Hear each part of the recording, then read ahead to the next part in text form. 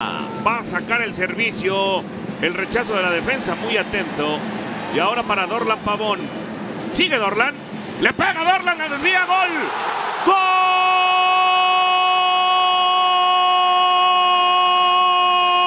Carlos Rodríguez llegó perfecto a la cita. Buena jugada. Arrancó con Dorlan Pavón. Y el empate de los rayados. Hay una circunstancia que hay que ver. El que habilita es un jugador que está tirado.